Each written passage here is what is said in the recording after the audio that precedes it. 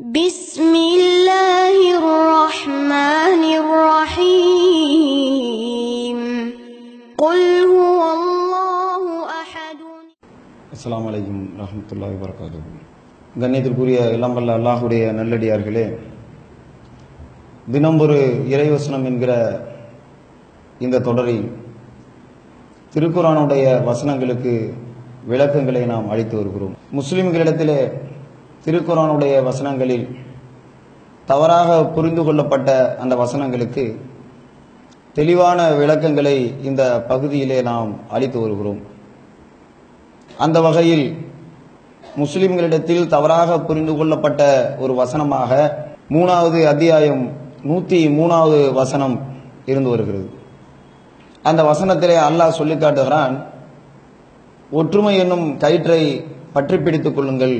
என்பதாக இந்த வசனத்திலே அல்லாஹ் சொல்லி காட்டுகிறான். இந்த வசனத்தை முஸ்லிம்களிடத்திலே எப்படி புரிந்து கொள்ளப்படுகிறது என்று சொன்னால் முஸ்லிம்களாக இருப்பவர்கள் அனைவருமே ஒரே ரீதியான கருத்திலே ஒற்றுமையாக இருக்க வேண்டும் என்பதை அல்லாஹ் இங்கே வலியுறுத்துகிறான். அதனால் நம்மிடத்தில் எந்த விதமான குழப்பங்களும் பிரச்சனைகளும் நம்மிடத்திலே ஏற்பட்டுவிடக் கூடாது என்பதை புரிந்து கொள்வதோடு சில தவறான விஷயங்களுக்கு இந்த வசனங்களை முன்வைக்கிறார்கள். இன்னைக்கு சமுதாயத்தில் நடக்கக்கூடிய பல்வேறு விதமான தீமைகளை நாம் தௌஹி ஜமாத் என்கிற இந்த அமைப்பின் மூலமாக சுட்டிக்காட்டப்படுகிற பொழுது நம்மை நோக்கி வைக்கக்கூடிய வாதங்களிலே இந்த வசனத்தை ஆதாரமாக கொண்டுதான் வாதம் வைக்கிறார்கள்.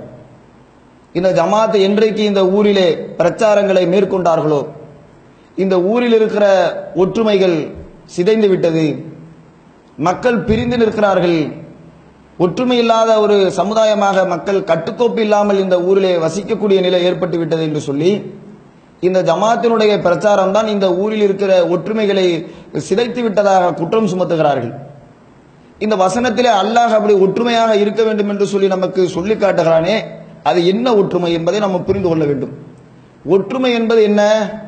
நம்ம ஒரு ஊரில் போய் நம்ம பிரச்சாரம் செய்யக்கூடிய நம்ம அந்த மக்களிடத்தில் இருக்கிற தீமையை சுட்டி காட்டுகிற பொழுது அந்த தீமைக்கு எதிராக நாம் பிரச்சாரம் செய்கிற பொழுது தீமை இறைவனுடைய பார்வையிலே மிகப்பெரிய தவறாக இருக்கிறது.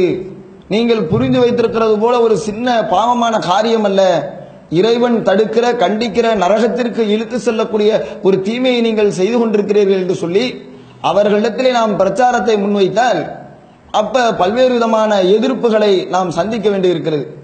அப்பதான் ஒற்றுமை குலைந்து விட்டதாக அவர்கள் சொல்லி காட்டுகிறார்கள். எப்ப ஒற்றுமை குலையும் என்று சொன்னால் இந்த தீமை நடக்கிற பொழுது இறைவனும் இறைவனுடைய தூதரும் காட்டி தந்த அடிப்படையிலே நாம் அதை தீமையை சுட்டி காட்டுகிற பொழுது அங்கே ஒற்றுமை ஏற்படாது. அங்கே பல்வேறு விதமாக மக்கள் பிரிந்து போவார்கள். ஆனால் ஒற்றுமை எப்பொழுது ஏற்படும் என்று சொன்னால் குரான் அடிப்படையிலும் ஹதீஸ் அடிப்படையிலும் நாம் ஒன்று சேர்கிற பொழுது அல்லாஹும் அல்லாஹுடைய தூதரும் காட்டி தந்த அடிப்படையிலே நாம் செயல்படுகிற பொழுதுதான் ஒற்றுமை ஏற்படும். அதான் சரியான ஒற்றுமை. அல்லாஹ் இங்கே சொல்லி காட்டுகிற இந்த ஒற்றுமை கூட அல்லாஹுடைய வேதத்தை நீங்கள் பற்றி பிடித்துக் கொள்ளுங்கள் என்பதைத்தான் அல்லாஹ் இங்கே சொல்லி காட்டுகிறான். இப்ப வரதட்சணை வாங்கக்கூடிய திருமணம் நடக்குது. ஊரே சேர்ந்து போய் அந்த திருமணத்தில் கலந்து கொள்வார்கள். மதகுருமார்கள் அதில் கலந்து கொள்வார்கள். ஊருனுடைய பெரியர்கள் முக்கியஸ்தர்கள் பள்ளிவாசலுடைய நிர்வாகிகள் எல்லோரும் அந்த திருமணத்தில் கலந்து கொள்வார்கள். ஆனால் அல்லாஹ் சொல்லுகிற அடிப்படையில திருமறை குரானுடைய அடிப்படையில வரதட்சணை வாங்கி நடைபெறக்கூடிய திருமணம் பாவமான காரியம். அப்ப நாம பிரச்சாரம் செய்தால் மக்களிடத்தில் எடுத்து சொன்னால் அதை சரியாக யார் கண்டிருக்கிறார்களோ அவர்கள் நம்மை நோக்கி சொல்வார்கள் ஒரு குழப்ப வைத்து விட்டார்கள். இப்படி நீங்கள் சொல்லக்கூடாது. மக்கள் ஒற்றுமை இல்லாமல் போய்விடுவார்கள். அதனால பிரச்சாரம் செய்யக்கூடாது என்று சொல்லி சொன்னால் அது ஒற்றுமையா? தீமையான காரியத்திலே மக்கள் ஒன்றுபட்டு நிற்கிறார்களே அது ஒற்றுமையா? அல்லாஹும் சொன்ன அடிப்படையிலே மக்களை ஒன்றிணைக்கிறோமே அது ஒற்றுமையாக இருக்குமா? எது சரியான ஒற்றுமையாக இருக்கும்? அல்லாஹ் சொன்னதின் அடிப்படையிலே மக்களை அழைப்பதுதான் சரியான ஒற்றுமையை ஏற்படுத்தும். அப்ப வரதட்சணை திருமணம் ஏற்படுகிறது என்று சொன்னால் அங்க சில பிரச்சாரம் செய்கிற பொழுது சலசலப்புகள் ஏற்படும். ஆனால் அந்த சலசலப்புகளுக்கு மத்தியில உண்மையை விளங்கிக் கொண்டவர்கள் தூதரின் பக்கமும் அல்லாஹ் சொன்ன அந்த திருமறையின் பக்கமும் திரும்புகிற பொழுது ஏற்படுகிற ஒற்றுமை தான் சரியான ஒற்றுமை. இன்னைக்கு வந்து இந்த பிரச்சாரத்தை நம்ம மேற்கொள்கிற பொழுது மக்கள் பிரிந்து விட்டார்கள். ஒரு ஊர்ல ரெண்டு பள்ளிவாசல்கள் வந்து விட்டது என்று சொல்லி சொல்கிறார்கள். மக்களிடத்திலே பல்வேறு விதமான பிரிவுகளாக பிரிந்து விட்டார்கள் என்று சொல்லி சொல்கிறார்கள். ஆனால் நம்ம கேட்கிறோம் என்ன கேட்கிறோம்? இதற்கு முன்னாடி ஊரில் இருந்தவங்க எல்லாருமே ஒரே மாதிரியான ஒற்றுமையாக இருந்தார்களா? சாஃபி மதகபி என்று சொல்லி ஒரு தனி சட்டத்தை இவர்கள் பின்பற்றுகிறார்கள். ஹனவிகளுக்கு என்று சொல்லி ஒரு தனி சட்டத்தை பின்பற்றுகிறார்கள். மாலிக் என்று சொல்லி தனி சட்டத்தை பின்பற்றுகிறார்கள். ஹம்பலி என்று சொல்லி தனி சட்டத்தை பின்பற்றுகிறார்கள். இப்படி மதகபின் பெயரால் இந்த மக்கள் பிரிந்து நின்ற அந்த மக்களை குரான் அடிப்படையிலும் ஹதீஸ் அடிப்படையிலும் வாங்கல் என்று சொல்வது அங்கே பிளவை ஏற்படுத்துமா இது? குரானை பின்பற்றினால் சமுதாயம் பிரிந்து நிற்குமா? ஹதீஸை பின்பற்றினால் மக்களிடத்தில் குழப்பம் ஏற்பட்டு பிரிந்து விடுவார்களா? எது ஒற்றுமை? சரியான ஒற்றுமை ஏற்படுத்தும் குரானையும் ஹதீசையும் ஏற்படுகிற பொழுதுதான் அந்த ஒற்றுமை அங்கே சமுதாயத்தில் பிறக்கும். இன்னைக்கு தப்லிக் ஜமாத் என்று சொல்லக்கூடிய சில அமைப்புகள் இருக்கிறார்கள். அவங்க கூட என்ன செய்வாங்க? பள்ளிவாசல் பள்ளிவாசலாக வந்து தொழுகைக்கு வாங்கன்னு சொல்லி கூப்பிடுவாங்க. ஆனால் அந்த ஊரில் நடக்கிற தீமைக்கு எதிராக குரல் கொடுத்திருக்கிறார்களா? ஒருத்தரும் குரல் கொடுக்க மாட்டார்கள். பள்ளிவாசல்ல வந்து தொழுவுங்கன்னு சொல்றது மட்டும்தான் அவர்களுடைய வேலையாக இருக்குமே ஒழிய அந்த ஊரில் நடக்கிற இணைவைப்புக்கு எதிராக பள்ளிவாசல் இருக்கிற பக்கத்திலே தருகா இருக்கும். இங்க தொலை வைக்கக்கூடிய இமாமாக இருப்பவர் அங்க போய் பாத்தியா ஓதரத்துக்கு போவார். மக்கள் இஸ்லாத்தை பற்றி அறியாத எத்தனை முஸ்லீம் அல்லாத மக்கள் இதுதான் இஸ்லாம் என்று சொல்லி தர்காவுடைய வாசலுக்கு வந்து நிற்பார்கள். அப்ப அந்த மக்களிடத்தில் இஸ்லாத்தை போதிக்க வேண்டிய இமாமாக இருக்கக்கூடியவர் அந்த ஊரில் இருக்கக்கூடியவர்கள் பள்ளிவாசலோடு தொடர்பை வைத்திருக்கக்கூடியவர்கள் கூட அவர்களிடத்திலே மார்க்கத்தை சொல்ல மாட்டார்கள். அங்க போய் மக்கள் குழுமக்கூடிய காட்சியை பார்க்கும் பொழுது தொழுகைக்கு வாங்கல் என்று சொல்லி அழைக்கக்கூடியவர்கள் நீங்கள் தொழுதால் சொர்க்கம் செல்ல முடியும் எப்பொழுது தெரியுமா? அந்த தர்காவிலே நீங்கள் மண்டியிடாமல் வணக்கத்திற்குரிய இறைவனை மட்டும் நீங்கள் தொழுதால் மட்டும்தான் இந்த தொழுகைக்கான நன்மையை நீங்கள் மறுமையிலே பெற முடியும் என்று என்றைக்காவது சொல்லியிருக்கிறார்களா? ஏன் சொல்லல? மக்களிடத்தில் பிளவு ஏற்பட்டு விடுமான் அதனால நாங்கள் சொல்ல மாட்டோம் அப்படின்னு சொல்றாங்க. அது வந்து குரான் சொல்லுகிற ஒற்றுமையாது எது ஒற்றுமை? நீங்கள் சொன்னால் மக்கள் குழம்பினால் குரான் அடிப்படையில் நீங்கள் பிரச்சாரம் செய்கிற பொழுது மக்கள் குழம்பி போனால் அதனால அது வேற்றுமை அல்ல பிரிவல்ல அதுதான் ஒற்றுமையை ஏற்படுத்தும். அப்ப நம்ம என்ன செய்யறோம்? அங்க போய் தர்காவுக்கு போகக்கூடாதுன்னு நம்ம சொல்லுவோம்.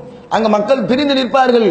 இருந்தாலும் அந்த பிரச்சாரம் குரான் சொல்லுகிற அடிப்படையில் இருக்கிறதுனால நபிகள் நாயகம் ஸல்லல்லாஹு அலிஸ்லாம் அவர்கள் சொல்லுகிற அடிப்படையில் இருக்கிறதுனால அது அங்க பிரிவாக பார்க்கப்படாத மார்க்க அடிப்படையில் அதுதான் ஒற்றுமையை ஏற்படுத்தக்கூடிய அந்த பிரச்சாரமாக இருக்கும். அது மாதிரி பார்த்தீர்கள் என்று சொன்னால் ஹத்தம் போதுறது பாத்தியா வருது நபிகள் நாயகம் ஸல்லல்லாஹு அலுவலம் அவர்கள் சொல்லித்தராத பல்வேறு காரியங்களை மார்க்கத்தின் பெயராக இந்த மக்கள் செய்து கொண்டிருக்கிறார்கள். அதற்கு எதிராக பிரச்சாரம் செய்கிற பொழுது மக்களிடத்திலே அந்த குழப்பங்கள் ஏற்படுமே.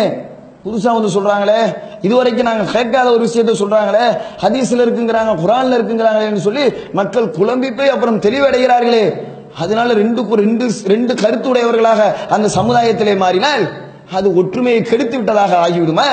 ஒற்றுமை அந்த சமுதாயத்தில் இல்லாமல் இவர்கள் பறித்து விட்டார்கள் என்று நம்மை நோக்கி சொல்கிறார்களே அப்படி பறித்ததாக அது ஆகிவிடுமா? ஒரு காலத்திலும் கிடையாது. ஏன்? அல்லாஹ் சொல்லக்கூடிய ஒற்றுமை என்பது குரானும் ஹதீஸும் அடிப்படையில் ஏற்படுத்தக்கூடிய ஒற்றுமை. இப்ப எல்லாரும் சேர்ந்து தர்காவுக்கு போறாங்க. ஒற்றுமையா இருக்காங்கன்னு நல்லா சொல்லுவானே? அட ஏன்டா இப்படி எல்லாரும் ஒன்று சேர்ந்து ஒரு பாவமான காரியங்களை செய்கிறீர்கள் என்று சொல்லி அல்ல தண்டிக்க மாட்டானா? மார்க்கம் தடுத்திருக்கிற ஹத்தம் பாத்தியா போன்ற விஷயங்களை ஊரே ஒன்று திரண்டு செய்தாலும் அல்ல எல்லாம் ஒண்ணு ஒத்துமையா செஞ்சிருக்கிறாங்க. நம்ம சொல்லாத செஞ்சிருக்கிறாங்கன்னு சொல்லி அல்ல பரிசு தருவானே? அல்ல நான் சொல்லாததை நீங்கள் ஒன்று சேர்ந்து செய்தாலும் அதற்கு தண்டனை இருக்கு என்று சொல்லி அல்லாஹ் தண்டிக்கக்கூடியவனாகத்தானே இருக்கிறான்?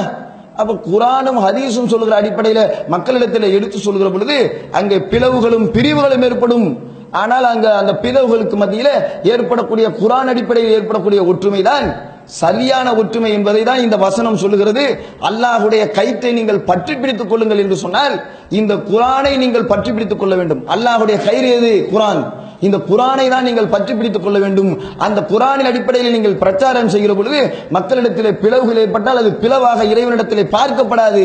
அந்த பிரச்சாரத்தின் அடிப்படையில் குரான் சொல்லுகிற கருத்தின் அடிப்படையில் மக்கள் ஒன்று சேர்கிறார்களே அதுதான் ஒற்றுமை என்பது இறைவனுடைய பார்வையில் பார்க்கப்படும். அது அல்லாத எதிர்கருத்தில் இருப்பவர்கள் குழப்பம் விளைவித்தவர்களாகத்தான் இறைவனிடத்தில் கருதப்படும் என்பதை நம்மை புரிந்து கொண்டு அதைத்தான் இந்த வசனம் இந்த விளக்குகிறது என்பதை நம்மை புரிந்து கொண்டு இறைவன் சொல்லுகிற ஒற்றுமை என்பது குரானை பின்பற்றுதல் குரான் அடிப்படையில் நம்ம ஒன்று சேர்வது குரானை பற்றி பிடிப்பது என்பதுதான் என்பதை நாம் இந்த வசனத்தின் மூலமாக அறிந்து கொள்ள வேண்டும் என்று சொல்லி எனது இன்றைய வசனத்தை முடித்துக் கொள்கிறேன். அஸ்லாம் வலைக்கம் Allah